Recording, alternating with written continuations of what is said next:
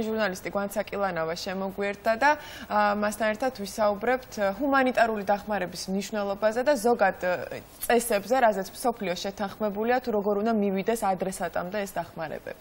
მოგესალმებით წამყვანებო, მივესალმებით ჩვენს მაყურებელს, რას ნიშნავს ჰუმანიტარული დახმარება. ეს ნიშნავს დაეხმარო ადამიანებს, რომლებიც გაჭირვებაში არიან და გადაარჩინონ მათი სიცოცხლე სოფლიოს ნებისმიერ წერტილში.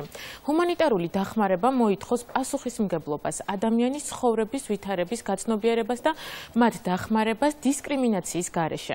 ჰუმანიტარული დახმარება არის მატერიალური და ლოჯისტიკური საშუალება უეცარი კრიზისის ან კატასტროფის შემთხვევაში, რომელიც დაზარალებულ მოსახლეობას წრაბ და მიზნობრივ დახმარებას უწევს.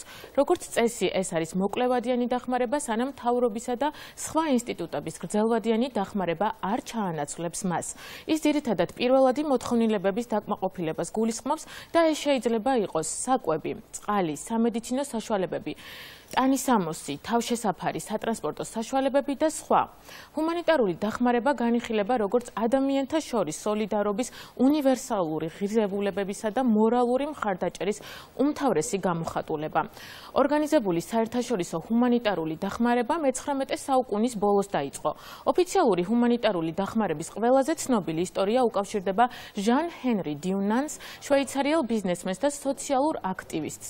მას წითელი ჯვრის მამასაც უწოდებენ. 1859 წელს საქმიანი მოგზაურობისას იტალიაში სოლფერინოს ბრძოლის შედეგების თვითმხილველი გახდა ის. ბრძოლა მიმდინარეობდა ჩრდილოეთ იტალიაში ფრანკ, იტალიელ და ავსტრიელ სამხედრო ძალებს შორის. იგი შეშფოთებული იყო ბრძოლის ველზე მიტოვებული დაჭრილი მეომრების ბედით და מחლობელი სოფლების მკვიდრ ქალებთან ერთად ცდილობდა მათი ტანჯვა შეემსუბუქებინა და გადაერჩინა ისინი. მისი ერთ-ერთი შეთავაზება ითვალისწინებდა სახელმწიფოთა მოწვევას ისეთი ხელშეუხებელი საერთაშორისო პრინციპის შესაქმნელად, რომელსაც კონვენციით გათვალისწინებული სანქციები გაუმაგრებდა ზურგს და იქნებოდა ბრძოლის ველზე დაჭრილთა იურიდიული დაცვის გარანტი.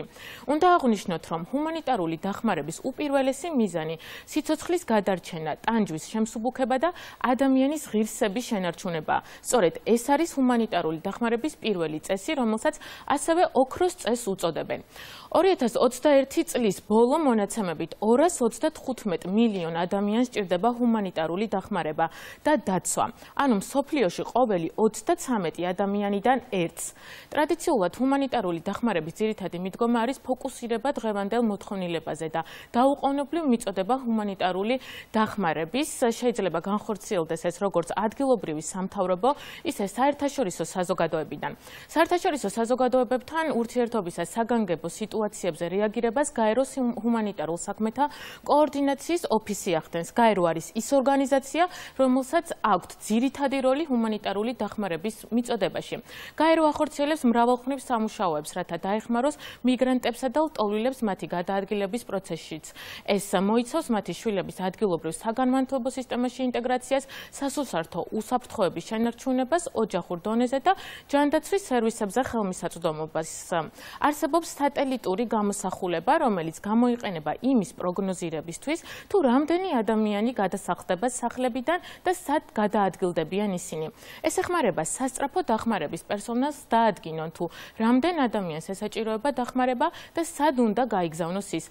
ხელოვნური ინტელექტის ალგორითმის დახმარებით კი შეიძლება მყისიერად შეფასდეს წყალდიდობა, შენობები და გზის დაზიანება სატელიტური სურათების საბუცველზე. ეს კი მაშველებს საშუალებას აძლევს სასწრაფო დახმარება უფრო ეფექტურად გამოიყენონ და გამოავლინონ საფრთხის ქვეშ მყოფი პირები. კიდევ ერთი მაგალითი, რომელიც ასახავს ჰუმანიტარული მიზნებისთვის გამოყენებულ ტექნოლოგიას, არის ხელოვნური ინტელექტი ციფრული რეაგირებისთვის AIDR-ი. ეს არის პლატფორმა, რომელიც არის უფასო, ის იყენებს ადამიანურ და მანქანურ ინტელექტს, რათა ავტომატურად მონიშნოს ათასობით შეტყობინება წუთში, ასე რომ ჰუმანიტარულ ორგანიზაციებს შეუძლიათ შეგროვებული მონაცემების მიხედვით მიიღონ უფრო სწრაფად გადაწყვეტილებები კონკრეტული სახის საგანგებო სიტუაციის დროს. ასევე მნიშვნელოვანი მნიშვნელოვანია ის ფაქტი, რომ როდესაც ჰუმანიტარული ტვირთი გადააქვთ, ვალდებული არის ყველა მათ შორის შეიარაღებულ კონფლიქტში ჩართული სამხედრო კონტინგენტი გზა დაუთმონ და არ დააბრკოლონ ტვირთის გადაადგილება. ჰუმანიტარულ დახმარებად ასევე ითვლება თავშესაფრის აღმოჩენაც, მაშინ როცა შეჩერებული საჰაერო მიმოსვლის გამო საქართველოსში მყოფი უკრაინის მოქალაქეები საკუთარ სამშობლოში დაბრუნებას ვერ ახერხებენ, საქართველოს მოქალაქეები და მთავრობა დაეხმარნენ უკრაინელებს დროებითი საცხოვრებლით უზრუნველყოფაში. ჰუმანიტარული ტვირთი, რომელიც პირველადი სამედიცინო დახმარების საგნებს 30-ზე მეტი დასახელების მედიკამენტებს, ჟანგბადის კონცენტრატორს, ასევე ჰუმანიტარული დახმარების სხვა საგნებს მოიცავს, საქართველოს მთავრობამ უკრაინაში გაგზავნა.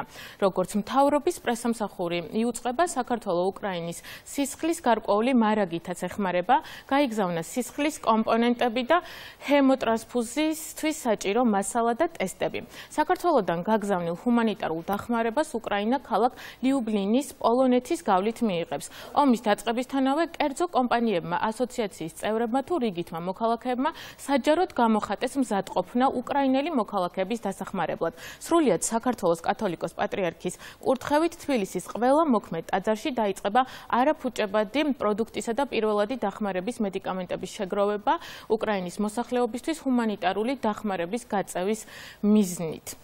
მე რა თქმა უნდა შემიძლია თქვა ის რომ ვუსურებ მშვიდობას და გამარჯვებას ჩვენ მეგობარ უკრაინელებს. დიდი მადლობა, ბანცა.